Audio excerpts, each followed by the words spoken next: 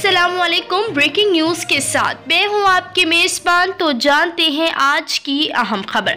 बड़ी और अफसोसनाक खबर आपके साथ शेयर करेंगे। कोरोना की चौथी लहर के बाद शोबिस इंडस्ट्री के सीनियर अदाकार अदनान सदीकी भी लपेट में आ गए हैं। तफसीत के मुताबिक अदाकार ने इंस्टाग्राम पोस्ट के ज़रिए कोरोना के तशखीस होने का बताया। उन्होंने कहा कि कोरोना ने मुझे अपने लपेट में ले लिया है। अदनान सदीकी ने लिखा है कि आज मेरा कोरोना टेस्ट मुस्बत आया है। कोरोना की हल्की अलामत है। टेस्ट मुस्बत आने के बाद मैंने खुद को घर में आइसोलेट कर लिया है। कोरोना की चौथी लहर जो कि तेज़ी से बढ़ने का खदशा है, लेकिन पाकिस्तानी अदाकार अदनान सदीकी इसकी लपेट में आ गए हैं।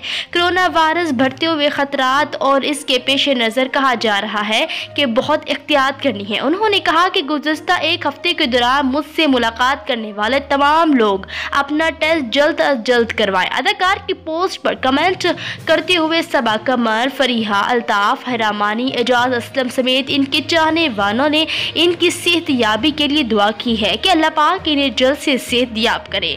वाजह रहे कि मुल्क भर में एस ओ पीज के खिलाफ वर्जों के बाद कोरोना वायरस की चौथी लहर के वार अभी भी जारी है।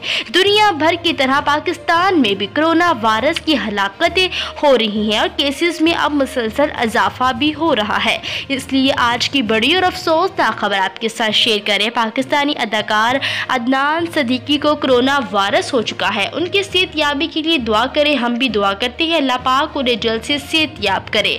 और उन्होंने ये भी कहा है कि जिन्होंने मुझसे मुलाकात की है और जिनसे मैं मिल चुका हूँ, वो अपना कोरोना टेस्ट लाजमी करवाए कोरोना वायरस जैसी वबा से बच सके। और अदाकार ने कहा कि गुजशत एक हफ़्ते के दौरान मुझसे मुलाकात करने वाले तमाम लोग अपना टेस्ट जल्द अज जल्द करवा लें। अदाकार की पोस्ट पर कमेंट करते हुए सबा कमर और दूसरे अदाकारों ने कहा कि हम आपके लिए दुआ करते हैं कि अल्लाह पाक आपको सेहत याब करे।